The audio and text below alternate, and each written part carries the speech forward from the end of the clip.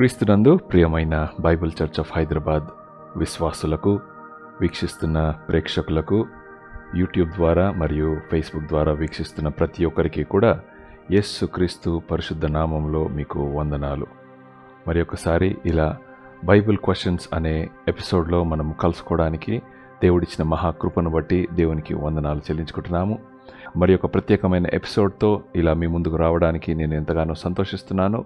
మరి ముఖ్యంగా ఈరోజు ప్రాముఖ్యంగా మనము ఒక ప్రత్యేకమైన ఒక ప్రత్యేకమైన సందర్భాన్ని జ్ఞాపకం చేసుకుంటాము. అది ఫాదర్స్ డే. వచ్చే సండే అంటే పంతొమ్మిదవ తారీఖు జూన్ మాసంలో. జూన్ మాసంలో ప్రతి మూడవ ఆదివారము ఫాదర్స్ డేగా ప్రపంచవ్యాప్తంగా మనము సెలబ్రేట్ చేసుకుంటాము. కాబట్టి ఈ ఫాదర్స్ డేని గౌరవిస్తూ తండ్రులను గౌరవిస్తూ మనము ఈరోజు ఎపిసోడ్ని మనము ధ్యానం చేద్దాము. మరి ఒక మాట ప్రార్థన చేసుకుందాము. దయచేసి తలలు వంచండి. ప్రార్థన చేసుకుందాము. పరిశుద్ధమైన దేవా నీ పరిశుద్ధ పాదములకు వందనాలు స్థుతులు.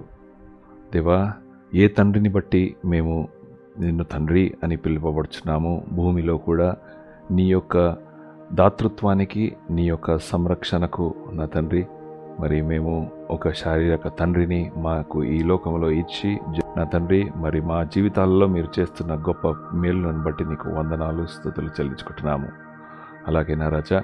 మరి ఈరోజు తండ్రుల దినోత్సవాన్ని జ్ఞాపకం చేసుకుంటూ ఆ నేపథ్యంలో ఈ ప్రత్యేకమైన ఎపిసోడ్ని మేము జరిగించుచుండగా మీరు మాతో మాట్లాడండి. నీ వాక్యము సత్యమైనది. నీకు నీ వాక్యానికి నీ మాటలకే సర్వ మహిమ ఘనత ప్రభావములు చెందాలని కోరుచు. యస్సు క్రీస్తు అతి పరిశుద్ధమైన నామంలో అడిగి బ్రతిమిలాడి వేడుకుంటున్నాం తండ్రి. అమేన్ అమేన్ మరొకసారి మీ అందరికీ కూడా వందనాలు. ఇక్కడ వీక్షిస్తున్న ప్రతి ఒక్కరికి మరి ముఖ్యంగా అడ్వాన్స్గా నేను హ్యాపీ ఫాదర్స్ డే చెప్పాలని ఆశపడుచున్నాను. ఫాదర్స్ డే ఎందుకనంటే తండ్రి ఒక గొప్ప పాత్ర. ఇంట్లో యజమానుడిగాను భర్తగాను తండ్రిగాను సంరక్షకుడుగాను పోషకుడుగాను తండ్రికి ఇవ్వబడిన గొప్ప పాత్రలను జ్ఞాపకం చేసుకుంటూ ఈ ఫాదర్స్ డేని మనం జరుపుకుంటాము. అయితే ఒకసారి చరిత్రలోకి వెళితే సొనోరా స్మార్ట్ డాడ్ అనే యువతి మరి వారి తండ్రిని విలియం జాక్సన్ స్మార్ట్ మరి విలియం జాక్సన్ స్మార్ట్ అనే ఈయనను తన యొక్క కూతురు మరి సన్మానించాలని ఘనపరచాలని మర్యాద చేయాలని ఆమెకు వచ్చిన ఆలోచన. ఎందుకు అనంటే మరి తల్లి చనిపోయిన తర్వాత తనతో పాటు ఇంకొక ఐదుగురు ఆడపిల్లల్ని అంటే మొత్తము ఆరుగురు ఆడపిల్లల్ని మరి తానే తల్లి అయి తానే తండ్రి అయి ప్రతి అవసరతను తీర్చి మంచిగా పెంచి వారిని ఉన్నతమైన స్థానంలో వారిని సెటిల్ చేసి పెళ్ళిళ్ళు చేసి ఒక గొప్ప తండ్రికి ఆదర్శంగా నిలబడ్డాడు మిస్టర్ విలియం స్మార్ట్. సో ఆ తండ్రిని జ్ఞాపకం చేసుకోవాలని ఒక inspiration inspiration for Father's Day was by the civil war veteran. ఈయన సివిల్ వార్ అంటే మనకు స్వాతంత్ర పోరాటము ఎంత ప్రాముఖ్యమైనదో అలాగే అమెరికా దేశస్థులకు సివిల్ వార్ కూడా ఒక ప్రాముఖ్యమైన పోరాటము. అయితే ఆ పోరాటంలో పోరాడిన సమరయోధుడు తన తండ్రి. అయితే ఆ తండ్రిని జ్ఞాపకం చేసుకోవాలి. అది కూడా స- సంఘం ఎదుట మా తండ్రిని గనపరచాలని మా తండ్రితో పాటు అందరూ తండ్రులను జ్ఞాపకం చేసుకోవాలని ఈ సొనోరా స్మార్ట్ డాడ్ అనే ఈ స్త్రీ తను చేసే ప్రయత్నాన్ని పంతొమ్మిది వందల పదమూడవ సంవత్సరంలో ఈ ప్రయత్నాన్ని ప్రారంభించింది. ఆ ప్రయత్నము ప్రారంభంలో అంత సఫలం కాలేదు అంత సక్సెస్ కాలేదు. మొదటి వారము జూన్ మొదటి వారము ఈ యొక్క కార్యక్రమం చేద్దామన్నప్పుడు వాళ్ళ పాస్టర్ గారు అమ్మ మరి ఈరోజు కుదరదు ఈరోజు కొన్ని వేరే స్పెషల్ ప్రోగ్రామ్స్ ఉన్నాయి అన్నప్పుడు అలా మూడో వారానికి పోస్ట్ పోన్ అయ్యి మరి అలా మరి వాళ్ళు గవర్నమెంట్లో తర్వాత వాళ్ళ నాయకులతో మెల్లిమెల్లిగా మెల్లిమెల్లిగా ఈ పక్కటి సంఘాలు ఆ రాష్ట్రము ఆ దేశము అలా పంతొమ్మిది వందల డెబ్భై రెండో సంవత్సరము అంటే దాదాపు దాదాపు అరవై సంవత్సరాల తర్వాత సొనోరా స్మార్ట్ ఎప్పుడైతే తన తండ్రిని తోటి తండ్రులందరినీ కూడా సన్మానించాలని ఈ యొక్క అభిప్రాయాన్ని తెలియజేసిందో అరవై సంవత్సరాల తర్వాత ఒఫీషియల్గా అమెరికా దేశ రాష్ట్రపతి అప్పట్లో ఆయన పేరు నిక్సన్ ప్రెసిడెంట్ నిక్సన్ అనేట ఆయన ఒక బిల్ ఒక జీవో పాస్ చేశాడు. ప్రతి సంవత్సరము జూన్ మూడవ ఆదివారమున ఇంటర్నేషనల్ ఫాదర్స్ డేగా సెలబ్రేట్ చేద్దామని చెప్పి. సో ఇది ఒక చిన్న పరిచయం ఫాదర్స్ డే ఎందుకు స్టార్ట్ అయింది అని. తండ్రిగా ఆడపిల్లల్ని పెంచడం అంటే అది ఎంతో ఛాలెంజింగ్. ఒక్కళ్ళని పెంచడానికే నాకు చుక్కలు కనబడుతున్నాయి. అలా ఆరుగురు ఆడపిల్లల్ని కని పెంచి వారి ప్రతి అవసరతలను తీర్చి వారిని మంచి ప్రయోజకులుగా చేసి పెళ్ళిళ్ళు చేసి వాళ్ళ జీవితాలను స్థిరపరిచిన తన తండ్రికి అలాగే తోటి తండ్రులందరికీ కూడా ఈ యొక్క సన్మాన కార్యక్రమం చేయాలనే ఆశ ఈ స్త్రీకి వచ్చింది. అలానే తల్లుల దినోత్సవానికి కూడా మే నెల రెండవ ఆదివారము తల్లుల దినోత్సవం లేకపోతే మాతృ దినోత్సవంగా మరి ప్రపంచమంతా కూడా. అయితే నాకు మే టైంలోనే ఒక బ్రదర్ ఒక క్వశ్చన్ అడిగాడు. అన్నా మళ్ళీ మదర్స్ డే సెలబ్రేట్ చేసుకోవాలని బైబిల్లో ఎక్కడుందన్నా అని. బైబిల్లో మదర్స్ డే సెలబ్రేట్ చేసుకోవాలి అని ఖచ్చితంగా మీకు పదాలు కనిపించకపోవచ్చు. బైబిల్లో ఫాదర్స్ డే సెలబ్రేట్ చేసుకోవాలని ఖచ్చితంగా మీకు పదాలు కనిపించకపోవచ్చు. కానీ వాక్యాన్ని చూసినట్లయితే తండ్రి యొక్క ప్రాధాన్యతను తండ్రి యొక్క నేపథ్యాన్ని మనము ఆది కాండము నుండి ప్రకటన గ్రంథం వరకు చాలాసార్లు చూస్తాము. ఎంతో వరకు ఎందుకండి? యేసుక్రీస్తు ప్రభు తన ముప్పై మూడున్నర సంవత్సరాల జీవితంలో మూడున్నర సంవత్సరాల సేవా పరిచర్య జీవితంలో ప్రతి అడుగు ప్రతి ప్రార్థన ప్రతి సూచక క్రియ ప్రతి మిరకిల్ తండ్రి చిత్తముతో తండ్రి ప్రవేయముతో తండ్రి యొక్క బ్లెస్సింగ్తో చేశాడు. అంటే ఆయన ప్రతి మాటకు ముందు తండ్రి మాట తర్వాత తండ్రి తండ్రి వీరేమి చేస్తున్నారో వీరికి తెలియదు. తండ్రి నీకు ఇష్టమైతే ఈ ఐదు వేల మందికి కావలసిన భోజనం కావాలి. తండ్రి ఈ గుడ్డివానికి కళ్ళు దయచేయి. తండ్రి ఈ కుంటి వాళ్ళకు ఇది దయచేయి. తండ్రి మరి నా ఫ్రెండ్ లాజరు చనిపోయాడు అని ఆయనకు సర్వ అధికారము ఉన్నను తండ్రిని ఘనపరిచే విషయంలో ఏమాత్రం కూడా వెనుకడుగు వేయలేదు యేసుక్రీస్తు ప్రభు. అలానే మనకి మత్తైసు వార్తలోనూ రోమియోలకు రాసిన పత్రికలోనూ పౌలు అంటాడు మొదటి కొరింతీయులకు రాసిన పత్రిక ఎనిమిదో అధ్యాయంలోనూ తండ్రి కుమారుల మధ్య తండ్రి మరియు పిల్లల మధ్య ఉంటున్న నేపథ్యం ఆ థీమ్ అనేది మనకు స్క్రిప్చర్స్ అంతటిలో కూడా కనబడుతుంది. సో దీన్ని బట్టి నేను ఖచ్చితంగా చెప్పగలను బైబిల్ దేవుని వాక్యము తండ్రిని తల్లిని ఘనపరచాలి. మనం మామూలుగా తెలుగులో పేరెంట్స్ అనే పదానికి ఏమంటామంటే తల్లిదండ్రులు అంటాము. ఫస్ట్ తల్లి తర్వాత తండ్రి. ఎందుకు తల్లి అనంటే తల్లి జన్మనిచ్చింది తల్లి నవమాసాలు మోసింది తల్లి తన పేగును తన రక్తాన్ని తన ఫ్లెష్ని తన యొక్క శరీరంలో ఉంటున్న ప్రతి శ్వాసను జీవాన్ని పోసి మరి తల్లి జన్మనిచ్చింది కాబట్టి తల్లికి ఒక మెట్టు ఎక్కువ అని చెప్పి. కానీ బైబిల్ భాషలో చూస్తే బై బైబిల్ నేపథ్యంలో చూస్తే మరి తల్లియు తండ్రియు సమానమే. ఇంకా ఇంకా మీరు క్షుణ్ణంగా చదివినట్లయితే తండ్రికే ఒక మెట్టు ఎక్కువ తండ్రికే ఒక కిలోగ్రామ్ ఎక్కువ మర్యాద ఎక్కువ ఘనత. కాబట్టి దేవుడు మోషేకు మోషేతో ఉంటున్న ఇస్రాయేల్ జనాంగం అందరికీ కూడా ఇచ్చిన పది ఆజ్ఞలలో మొట్టమొదటి ఆజ్ఞ నీ దేవుడైన యహోవాను ప్రేమించాలని చెప్పి నీ తల్లిని నీ తండ్రిని సన్మానించాలి అని. సారీ నేను ఉల్టా చెప్పాను కావలసుకొరే చెప్పాను. నీ తండ్రిని నీ తల్లిని అని ఉంటుంది చూడండి బైబిల్లో.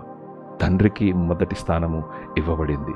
ఎందుకనంటే తండ్రికి నువ్వు ఇవ్వవలసిన గౌరవాన్ని తండ్రికి నువ్వు ఇవ్వవలసిన ప్రేమను ఘనతను తప్పకుండా ఇచ్చి నువ్వు నీ తండ్రిని ఘనపరచాలి సన్మానించాలి అని చెప్పి. అయితే తండ్రులకు కూడా వాక్యంలో అనేకమైన హెచ్చరికలు అనేకమైన బోధలు ఉన్నాయి. ఎందుకనంటే ఎప్పుడైతే యేసుక్రీస్తు ప్రభువారు ఈ లోకంలో ఉన్నప్పుడు ఆయన ప్రార్థన ఎలా చేయాలయ్యా అని చాలామంది అడిగినప్పుడు ప్రార్థన నేర్పిస్తాడు. ఏమని నేర్పిస్తాడు?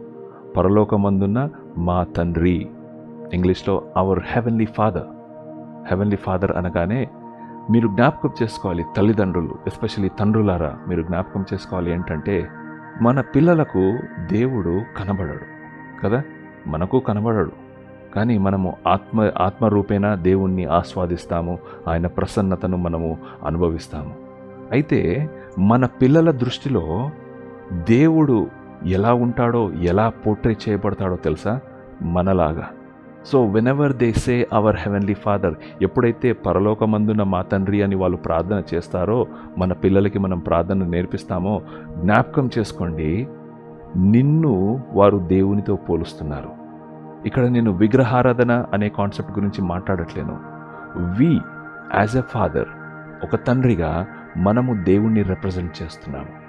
కాబట్టి నీవు ఒక తండ్రిగా నీ బాధ్యతలను సరిగా అది ఆత్మీయతలో కానీ శారీరకంగా కానీ మానసికంగా కానీ సమా సామాజికంగా కానీ నైతిక విలువల్లో కానీ ఏదైనా సరే నీవు నీ బాధ్యతలను సరి అయిన రీతిగా నువ్వు నిర్వర్తిస్తే ఓకే మా దేవుడు కూడా ఇలాంటి మా నాన్న ఎంత మంచివాడో మా దేవుడు కూడా అలా ఉంటాడని పిల్లలకు అలా అర్థమవుతుంది.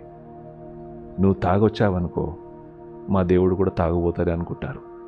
నువ్వు ఊరికనే అస్తమానం నీ భార్యను కొడుతున్నావు అనుకో మా దేవుడు కూడా ఇట్లాంటోడే భార్యను కొట్టేటోడే మనుషులను ప్రేమించేటోడు కాదు అనుకుంటాడు. నువ్వు బాగా అబద్ధాలు ఆడుతున్నావు అనుకో మోసం చేస్తున్నావు అనుకో ఇంకా దొంగతనాలు చేస్తున్నావు అనుకో that not only affects your image but it also affects God's image అందుకనే తండ్రులారా తల్లి కంటే ఎక్కువ బాధ్యత బిబ్లికలీ స్పీకింగ్ బైబిల్ అనుసారంగా చెప్తున్నాను తల్లి కంటే ఎక్కువ బాధ్యత తండ్రులకు ఇవ్వబడి ఉంది. ఎక్కువ ఒత్తిడి తండ్రులపై ఉంది. ఎక్కువ ప్రేమ ఎక్కువ ఘనత తండ్రులపై ఉంది. అందుకనే దేవుడు ఇస్రాయేల్ జనాంగానికి ఆజ్ఞలు ఇచ్చిన తర్వాత ద్వితీయోపదేశ కాండంలో ఐదవ అధ్యాయంలో మనకి మాటలు కనబడతాయి. ఏమని కనబడతాయంటే నీ పూర్ణ హృదయంతోనూ నీ పూర్ణ ఆత్మతోనూ నీ పూర్ణ శక్తితోనూ నీ దేవుడైన యహోవాను ప్రేమింపవలను అని ఇక్కడ మనకి ఈ మాటలు కనబడతాయి. అయితే ఈ మాటలు కనబడినప్పుడు దానికంటే ముందు ఒక మాట ఉంటుంది. ఆ మాటను ఒకసారి జ్ఞాపకం చేయాలని ఆశపడుతున్నాను ఏంటా మాట అంటే మీరు ఇదే ద్వితీయోపదేశ కాండము ఆరో అధ్యాయము రెండవ వచనంలో చూసినట్లయితే నీవును నీ కుమారులు నీ కుమార్తెలు మళ్ళొకసారి చెప్తున్నాను. మగవారిని ప్రస్తావించి బైబిల్ రాయబడింది. But that doesn't mean it is not for the females it is also for the females so కుమారులు అన్నప్పుడు కుమారులు కుమార్తెలు కూడా. సో నీవును నీ కుమారుడును నీ కుమారుని కుమారుడును అంటే నువ్వు నీ పిల్లలు నీ పిల్లల పిల్లలు నీ దేవుడైన యహోవాకు భయపడి నేను మీకు ఏ ఏ సంగతులనైతే ఆజ్ఞాపిస్తున్నానో ఆ సంగతులన్నిటినీ ఆ కట్టడలన్నిటినీ ఆ ఆజ్ఞలన్నిటినీ నీ జీవిత దినములన్నీ కూడా గైకొనవలెను. అప్పుడు ఇంకా ఇంకా మనం ముందుకు చదువుకుంటూ పోతే ఏమనుంటుంది తెలుసా? ఇంకా ఆరో అధ్యాయము అదే ఆరో అధ్యాయంలో ఆరో వచనంలో ఏమనుందంటే నేను నీకు ఆజ్ఞాపించిన ఈ మాటలన్నీ నీ హృదయంలో ఉండవలను. ఓకేనా? నీ కుమారులు వాటిని అభ్యసింపజేసి నీ ఎండ నువ్వు కూర్చున్నప్పుడు త్రోవలో నడుచుచున్నప్పుడు పండుకొనున్నప్పుడు లేచినప్పుడు వాటి గురించి మాట్లాడవలను. ఇవి సూచనగా వాటికి నీ చేతికి కట్టుకొనవలను. తండ్రికి దేవుడు ఇస్తున్న హెచ్చరిక నేను ఏ ఏ ఆజ్ఞలనైతే ఇస్తున్నానో ఓ ఇస్రాయేలు జనాంగమా ఓ నా సంపాద్యమా ఓ నా జనులారా నా ప్రియులారా నా దేశమా నా వారసులారా నేను ఏ ఏ ఆజ్ఞలనైతే మీకు ఇస్తున్నానో అది కేవలం మీకు మాత్రమే కాదండి. మీకు మీ పిల్లలకు మీ పిల్లల పిల్లలకు నువ్వు పడుకున్నప్పుడు లేచినప్పుడు తినున్నప్పుడు ఎక్కడికైనా వెళ్తున్నప్పుడు ప్రతి సందర్భంలో ఈ ఆజ్ఞలన్నింటినీ కూడా మీరు గైకొనాలి. వాటిని జ్ఞాపకం చేసుకోవాలి. వాటిని మీ పిల్లలతో మీరు డిస్కస్ చేయాలి. మీ పిల్లలతో మీరు మాట్లాడాలి. పస్కా పండగ గురించి దేవుడు ఒక శాస్త్రం ఇస్తాడు.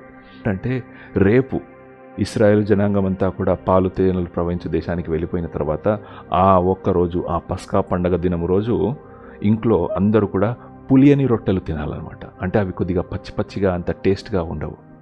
అప్పుడు పిల్లలు అంటారు ఏంది మమ్మీ ఏం కూర ఇట్లా చేసినావు ఇవాళ ఇవాళ రొట్టెలు ఇది ఇట్లా చేసినావు? రోజు మంచిగా చేసేదాని అన్నప్పుడు అప్పుడు నువ్వు నీ పిల్లలకు చెప్పాలి. కుమారుడా కుమార్తె మనము ఒకప్పుడు ఒక దాస్య గృహంలో ఉండే మనల్ని దాసులుగా చిత్తరవందర చేశాడు ఒక ఐగుప్తు రాజు.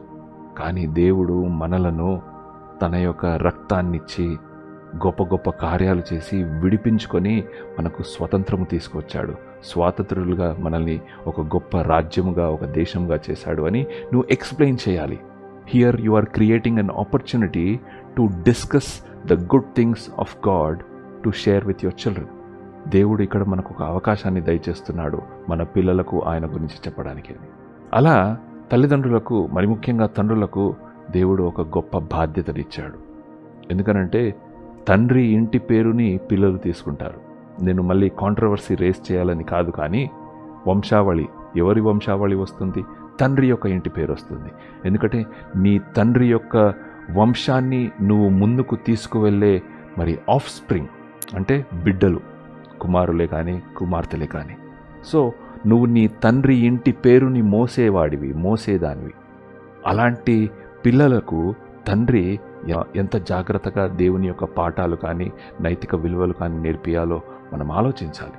కాబట్టి తండ్రిని ఘనపరిచే ఎందుకంటే తండ్రి పోషకుడు తండ్రి సంరక్షకుడు తండ్రి ప్రతి అవసరతను తీర్చేవాడు. తాను తినకున్నా తన బిడ్డల కోసము తినడానికి వారి కడుపును నింపడానికి వారి ఇంటి అవసరతలను నింపడానికి కష్టాలు పడే కష్టజీవి. అవును అందరికీ మంచి తండ్రులు రాకపోవచ్చు. అందరికీ అన్ని విషయాలలో న్యాయం జరగకపోవచ్చు. కానీ మరి దేవుడు అంటాడు కదా ఎంత దరిద్రుడైనా సరే తన పిల్లలు రొట్టె అడిగినప్పుడు రాయినిస్తాడా? చేపను అడిగినప్పుడు పామిస్తాడా? లేదే తన పిల్లలకు ఏది కావాలో తన శక్తికి మించి తన శక్తికి కొలది బెస్ట్ ఇస్తాడు. శారీరక తండ్రి ఇలా ఆలోచిస్తే ఆత్మీయ తండ్రి మన పరలోకపు తండ్రి ఎంతగా ఆలోచించి ఎంతగా మన అవసరతను తీరుస్తాడు అని చెప్పి యేసుక్రీస్తు ప్రభు వారు బైబిల్లో చెప్తారు. సో తండ్రి యొక్క పాత్ర ఎంతో గొప్పది. నా దృష్టిలో తల్లి కంటే తండ్రి యొక్క పాత్ర ఎంతో గొప్పది ఎంతో ఆశీర్వదింపబడినది. అలా తండ్రిని మరి ఘనపరిచే అవకాశము దేవుడు మన జీవితాల్లో దయచేశాడు. తండ్రిని తను చేసిన త్యాగాలను తను చేసిన మరి సంరక్షణకు మనము ఏమీ ఇవ్వలేము.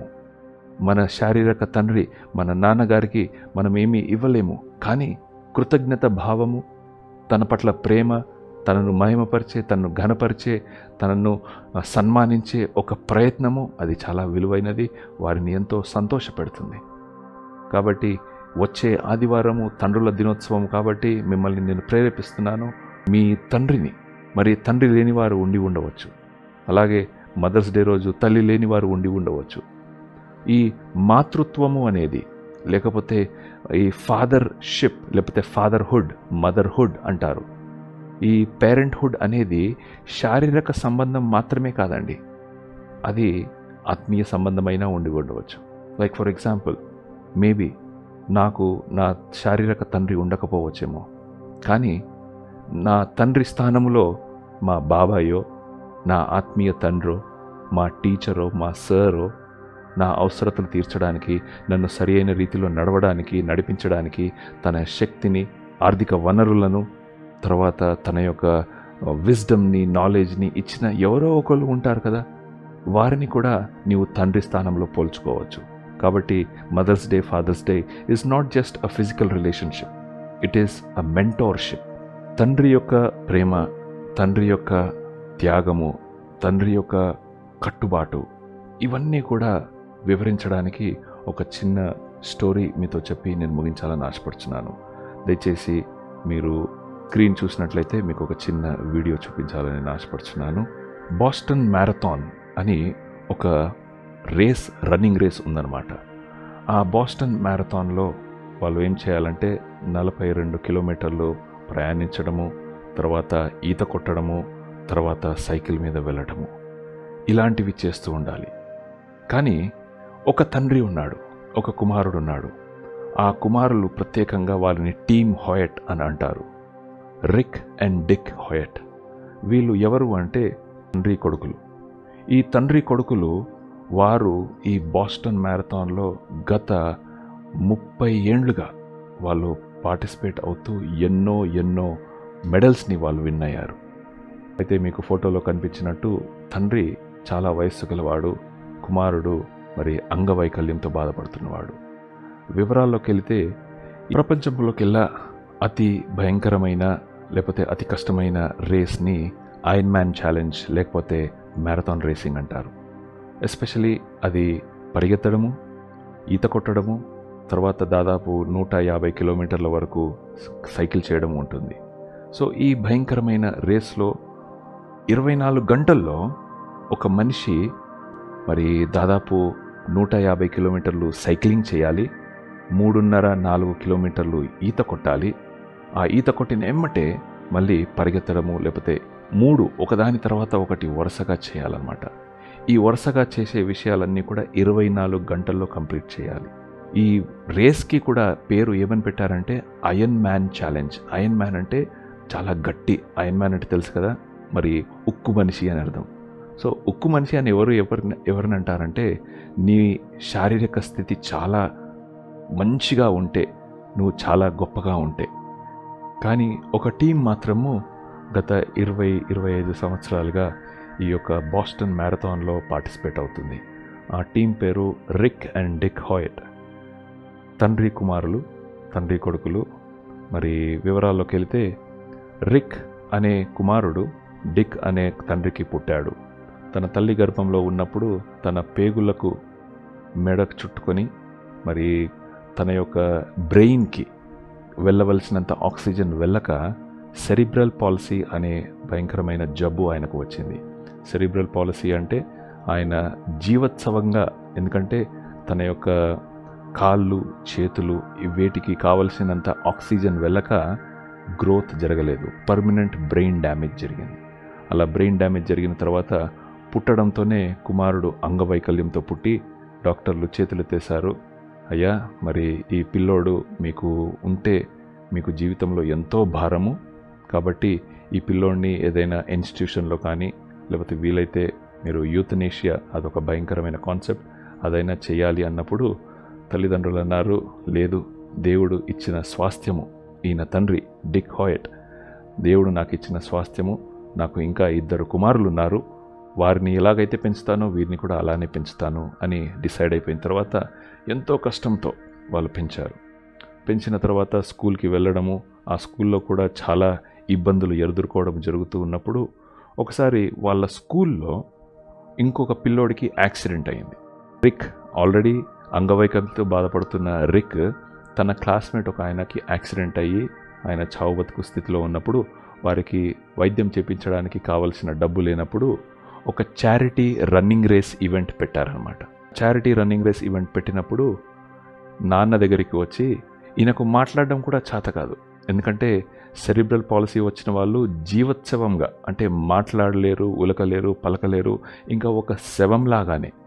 అయితే కొంతమంది ఇంజనీర్స్ ఒక కంప్యూటర్ని బిల్డ్ చేసి ఆ కంప్యూటర్ సహాయంతో కంప్యూటర్ వాయిస్తోని కమ్యూనికేషన్ చేస్తూ ఉంటాడు. అయితే తన తండ్రితో అన్నాడు నాన్న మరి మా క్లాస్మేట్ ఇలా బాధపడుతున్నాడు డబ్బులు కావాలి. మరి నేను కూడా ఆ ఫైవ్ కిలోమీటర్ రన్నింగ్ రేస్లో పోటీ పాడాలని ఉంది. కానీ నా పరిస్థితి నీకు తెలుసు కదా నాన్న అంటే వెంటనే వాళ్ళ నాన్న వాళ్ళ ఇంట్లో ఉంటున్న ఒక పాడుబడ్డ వీల్ చైర్ తీసుకొని ఆ వీల్ చైర్లో తనను కూర్చోబెట్టి సరేరా? అప్పటికి వాళ్ళ నాన్నకి నలభై ఆరు నలభై ఏడు సంవత్సరాలు. ఐదు కిలోమీటర్లు వీల్చైర్లో కూర్చోపెట్టి నెడుతూ ముందుకు తీసుకువెళ్తాడు. తీసుకువెళ్ళిన తర్వాత చివరికి లాస్ట్ నుంచి రెండో అంటే లాస్ట్ బట్ వన్ లాస్ట్ నుంచి సెకండ్ ప్లేస్ వచ్చి ఆ ఐదు కిలోమీటర్ల రన్నింగ్ రేస్ అయిపోయిన తర్వాత వాళ్ళ నాన్నకి ఆల్మోస్ట్ హార్ట్ అటాక్ వస్తుంది. ఎందుకంటే పెద్ద వయస్సు ఆ, ఆ పెద్ద వయస్సుతో పాటు ఆయనకి హార్ట్లో మరి చాలా కొలెస్ట్రాల్ ఉండి స్టంట్స్ వేయాలని కూడా డాక్టర్స్ చెప్పారు. అయితే ఆ రేస్ అయిపోయిన తర్వాత ఇంటికి వెళ్ళి కంప్యూటర్ కనెక్ట్ చేసిన తర్వాత కుమారుడు చెప్పిన మొదటి మాట ఏంటంటే నాన్న నేను ఎప్పుడైతే ఆ వీల్చైర్లో పరిగెడుతున్నానో నాకు అంగవైకల్యము లేదు. నాకు నేను జీవోత్సవంగా లేను. నేను ఒక నిజమైన నార్మల్ మనిషిలాగా ఉన్నాను అని చెప్పి ఆ ఫీలింగ్ నాకు ఎంతగానో సంతోషాన్ని ఇచ్చింది నాన్న. థ్యాంక్ యూ నాన్న అని వాళ్ళ నాన్నతో అన్నాడు అంతే ఆ ఒక్క మాట తన తండ్రిని కదిల్చి వేసింది ఆ మాటను పట్టుకున్న తర్వాత అప్పటి నుండి ఓకే ఎప్పుడు ఇంట్లో కూర్చొని ఆయనకి స్పెషల్ ట్రీట్మెంట్ ఇస్తుంటే ఆయన అంగవైకల్యంతో బాధపడుతున్నాడని చెప్పి నాకు వచ్చిన ప్రతి అవకాశాన్ని ఉపయోగించుకొని ప్రతి రేస్లోనూ నేను నా కొడుకుని చూసుకుంటా అని చెప్పి ఆ రోజు డిసైడ్ అయిపోయిన తర్వాత అప్పటి నుండి ఆ Rick and Dick marathon Boston. Boston మ్యారథాన్లో ఉంటున్న ప్రతి రేస్లోనూ ఐరన్ మ్యాన్ ఛాలెంజెస్లోనూ ఈ యొక్క తండ్రి కొడుకుల టీం పార్టిసిపేట్ అవ్వడం మాత్రమే కాదండి. వరల్డ్ రికార్డ్కి కేవలం ముప్పై నిమిషాల తేడాతో వాళ్ళు ఆ రేస్ని ఫినిష్ చేశారు. అంటే వరల్డ్ రికార్డ్ ఎంత సమయం అయితే ఉందో తండ్రి ముసలివాడైన తండ్రి తన కుమారుణ్ణి నెట్టుకుంటూ మరి ఆ సైకిల్ మీద ముందు కూర్చోబెట్టి సైకిల్ తొక్కడము తర్వాత వీల్చైర్లో కూర్చోబెట్టి పరిగెత్తడము అన్నిటికన్నా కష్టమైంది ఏంటి తెలుసా? ఒక బోట్లో తన కుమారుణ్ణి పడుకోబెట్టి తను ఆ బోటుని తన ఛాతికి కట్టేసి ఈదడము. ఇవన్నీ కూడా వరల్డ్ రికార్డ్కి కేవలం ముప్పై నిమిషాలలో కంప్లీట్ చేయగలిగారు ఈ రిక్ అండ్ డిక్ హోయట్. అయితే అలా వీళ్ళు ఎన్నో గొప్ప గొప్ప కార్యాలు ఎన్నో గొప్ప గొప్ప రేసెస్ విన్ అయ్యాయి. వాళ్ళు ఎంతగానో ముందుకు వెళ్ళి అనేకులకు అనేక తల్లిదండ్రులకు మరి ముఖ్యంగా అనేకమైన అంగవైకల్యంతో బాధపడుతున్న కుటుంబాలకు ఒక గొప్ప రోల్ మోడల్గా నిలబడ్డారు. నిలబడిన తర్వాత వారు రేస్ ఎంత రెగ్యులర్గా వాళ్ళు పార్టిసిపేట్ అయ్యేవారంటే ఈ బాస్టన్ మ్యారథాన్ ప్రపంచవ్యాప్తంగా ఫేమస్ అవుతున్న ఈ యొక్క రన్నింగ్ రేస్ దగ్గర వీళ్ళిద్దరి స్తూపం వారి యొక్క మరి బ్రాన్స్తో చేయబడిన స్తూపాన్ని కూడా స్టార్టింగ్ లైన్లో ఫినిష్ చేసి మరి వీళ్ళు వీరి యొక్క ఘనతను వీళ్ళని సన్మానించారు. అలా వీళ్ళు చూసుకుంటే ఇక్కడ చూడండి ట్రయాథలాన్స్. ట్రయాథలాన్స్ అంటే మూడు విషయాలు జరుగుతాయి. Running swimming cycling. ట్రయాథలాన్స్ రెండు వందల యాభై ఏడు సార్లు. అయన్ మ్యాన్ ఆరు సార్లు. హాఫ్ అయన్ మ్యాన్ ఏడు సార్లు. డ్యూయాథలాన్స్ ఇరవై రెండు సార్లు. మ్యారథాన్ బాస్టన్ మ్యారథాన్ డెబ్బై రెండు సార్లు. ఇరవై మైళ్ళ దూరము ఎనిమిది సార్లు.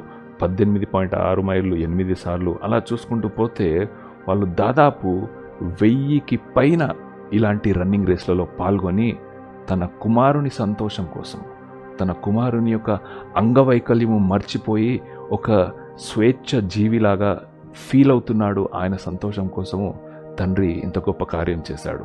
అలానే మరి వారు అమెరికా దేశాన్ని ఈ మూల నుండి ఆ మూలకు కూడా వారు ఆ రన్నింగ్ రేస్ని నలభై రోజుల్లో కంప్లీట్ చేసి తన కొడుకుతో ఇక్కడ విషయం ఏంటిదంటే తన కొడుకుతో మరి రన్నింగ్ రేస్ని కంప్లీట్ చేశారు.